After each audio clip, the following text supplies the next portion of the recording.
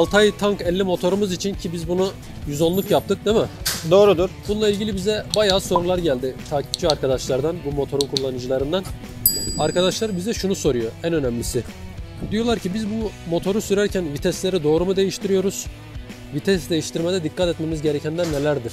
Vites geçişlerinde gazı bırakarak vites atmaları gerekmekte. Gazı bırakmadan vites attıklarında motor öne doğru Evet. ilerler. Gazı kesecek, vitesi atacak, ondan sonra gaz vermeye devam edecek.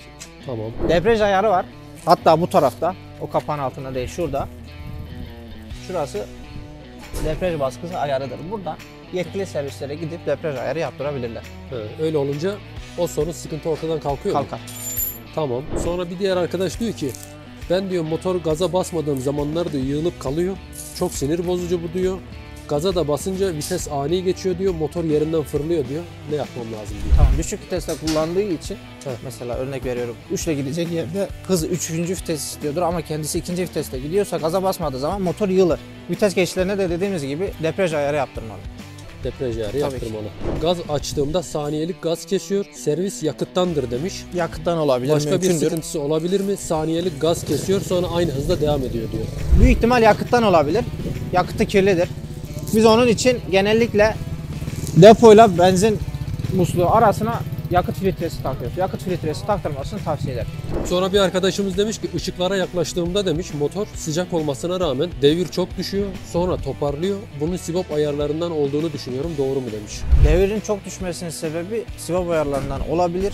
Ama onun yanı sıra genellikle karbüratör 16 düşük olduğu için rolant ayarı yapılmalı. Durduğu yerde düşük seviyede sayıyorsa devri Hı hı. Bir az bir şey Ronaldo'nun yükseltilmesinde fayda var.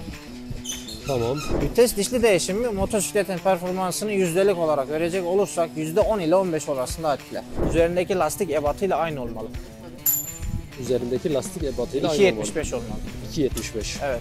Daha seri gitmek istiyorsa genellikle asfaltta kullanmak istiyorsa ya da asfaltta kullanıyorsa 2.50 lastikle takabilir. Biraz daha incedir, motoru yormaz. Lastik inceldikçe motor serileşir, lastik kalınlaştıkça motor yorulur. İncelik kalınlıktan dedi kastımız da lastiğin ebatının incelik kalınlığı değil. Eninin genişlemesi ve incelmesi. Hmm. Yani 2.50, 2.25 incedir, 2.75, 300'e kalındır. Far için ayrı bir düğme koymak istiyorsa buradaki far bağlantılarında şuraya ya da şuraya ayrı bir düğme çekip bağlayabilir. Biz yapıyoruz. Mümkün. İşlemlerde devamlı açık kalmasından bazı müşteriler şikayetçi. Tamam. Ama Avrupa genelde yasalara Euro 4 olduğu için açık kalmak zorunda. Fabrika çıkışı öyle. Bunun ama maliyeti ortalama ne kadar eder? ya bunun maliyeti nedir? Bayiden bayiye, servisten servise değişir ama ortalama 50-60 lira gibi bir maliyet çıkar. USB takıyorlarsa konjektörlü 12 volt çeviren USB'ler var. Onlardan takılmalı. Motorun aküsüne zarar vermemesi için işte konjektörlü dediğimiz elektriği kendi ayarlayan USB'lerden takmaları lazım. Sabahları sibop sesi gelmez. O farklı bir sestir. Motorda sibop sesi ısınınca aslında gelir. Isındığı zaman sibop sesi gelir. Soğukken sibop sesi gelmez. O farklı bir sestir. Ya motor açma diye bir şey yok. Sadece motorun alışması var. Motoru zorlasın biraz. Devrini buldursun vites geçişlerinde. Onun dışında da dördüncü viteste biraz zorlasın motoru. Tatmin etmiyorsa kendisini arka dişlisini değiştirebilir. Tamam ustam. Son olarak biz Altay tank kullanıcılarına tavsiyen var mı başka?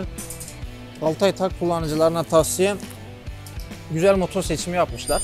Çok dayanıklı bir motor. Bakımlarını düzenli yaptırmaları, yağlarını erken değiştirmelerini tavsiye ederim. Kaliteli yağ kullanmalarını tavsiye ederim. Bunun yağını kaç zamanda bir değiştirmemiz gerekiyor?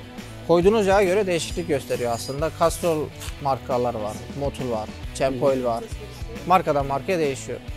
Bunlarda Kalitesi ne zaman ne kadar iyiyse yağın e, yağı değiştirme mesafesi de o kadar artar. Örnek veriyorum bazı yağlarda 1000 kilometre bazı yağlarda 1500 kilometreye kadar kullanılabilir. bu arabalarda var ya 10-45-30 falan. Bunda hangi? Bununki farklı. O senin dediğin arabalar özel.